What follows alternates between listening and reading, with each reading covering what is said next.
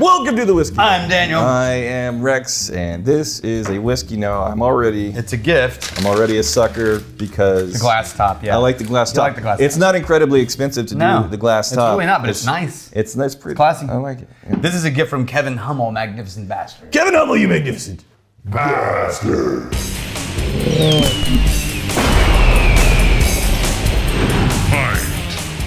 Now, this one might just need to be a standalone episode without comparisons because you cannot compare anything to this. Incomparable. Because this is a Triticale whiskey. I've heard of this. So Triticale, do you know what Triticale is? it's a weird grain. It's a it's it was invented in the 19th century. Yeah. It's a hybrid grain Okay. of wheat.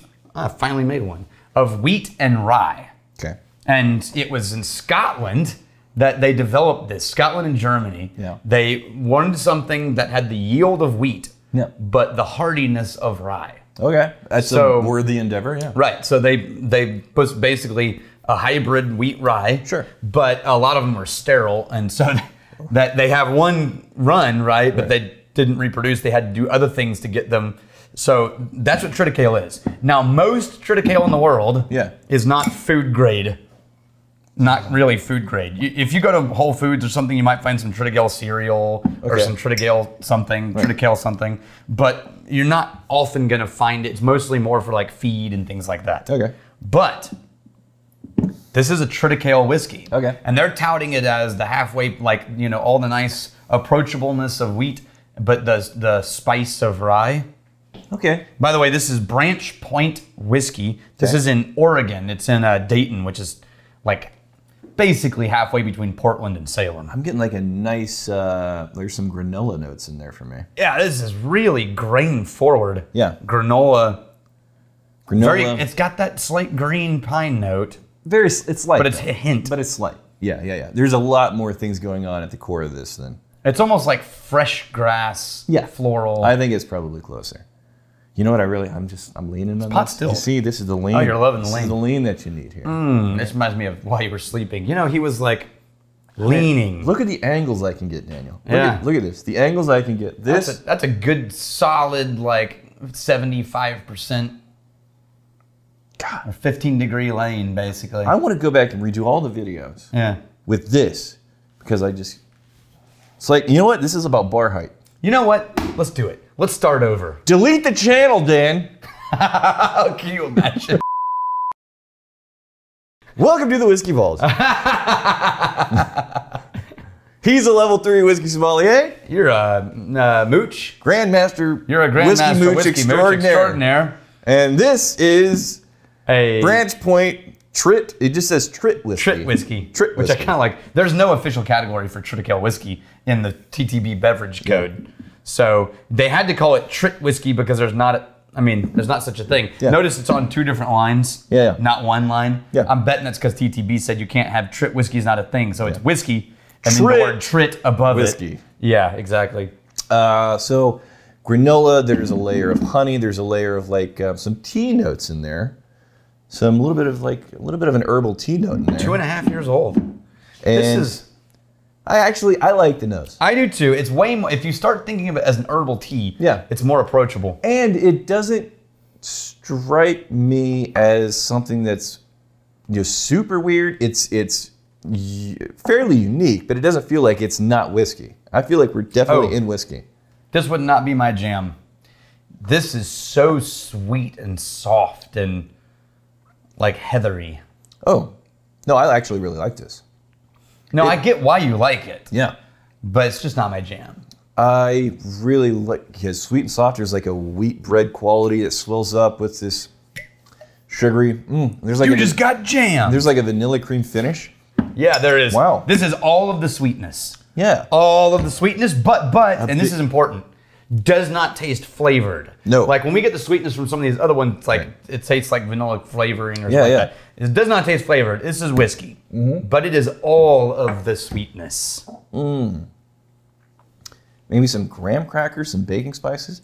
I actually like the taste more so than the nose. I think the taste is more complex than the nose. It definitely is. But. I don't.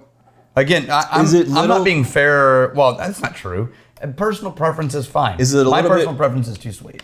is it a little bit too much of a funky adventure for you? No, it's not funky. It's not I don't. funky? I'm not finding right. fun. The nose is slightly funky. So funky, I think we, we're often associated with a specific kind of flavor experience. Yeah. Weird. Is it too much of a weird adventure for you? No, the nose is a weird adventure. Okay. And I'm not a huge fan of that. But Yeah. the taste is just so many versions of sweet Mm-hmm. that it loses me.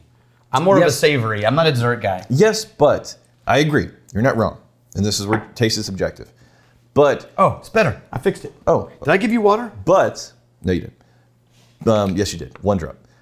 The layering of uh, these different kinds of sweetnesses. This is a very nuanced, complex whiskey. I agree.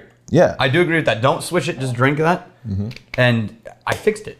It actually headed back to where I wanted it to be because that pot still, I'm guessing, but the oil was pushed forward and it got a little more tannic and a little more bitey. And there and the sweetness got balanced out a little bit. It woke up. There's a brown sugar quality in there. Mm-hmm. I like it a lot either way, quite frankly. I. Man, we are just having back to back craft yeah, goodness yeah, for the last week or so. yeah, yeah, yeah. Well, that's that's actually pretty damn impressive. I, I like the hell out of this. All right. The Trit whiskey. Who knew?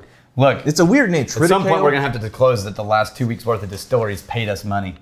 Right. Yeah, all of the money we're getting from all of these whiskeys. All of the monies. And for people that are drunk and not really paying attention, we've never gotten paid Never. to do any kind of review. on Not once. No. Okay.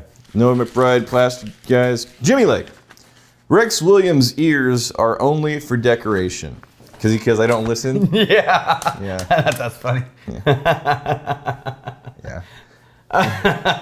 Have you ever looked at my ears closely? It's a weird question. No. I got like a notch in this ear. Huh. See? It, like, Yeah, I do see it. It dents in.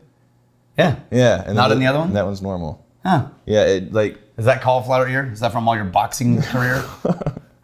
no, and then also um, my my uh, my father and my brother and me and both my kids, we have like two or three small dents in the back of our ears. You see, Huh. right there. Oh yeah, yeah. Looks like you had your ears pierced at some point. Yeah. You know what that is? Uh, it's a, uh, I can't remember the name Ne- for it. Uh, never had my ears pierced. So Jackson had one. Okay. That happens in the womb when you're being formed. Okay. And uh, Jackson's went about a quarter inch deep into his head, Yeah. and it kept getting infections. So they had to do a surgery and like remove the gap and close the whole thing. But in smaller versions, it looks like a dimple. I got dimples. But th- it's an actual medical term for that. dimples. It's a birth defect. You're defective. Carl Porter. so is, my point is, as far as decoration is concerned, it's, It's- kind of a shit decoration. It's, not holding up its end of the bargain. No, it's Yeah, really yeah. not.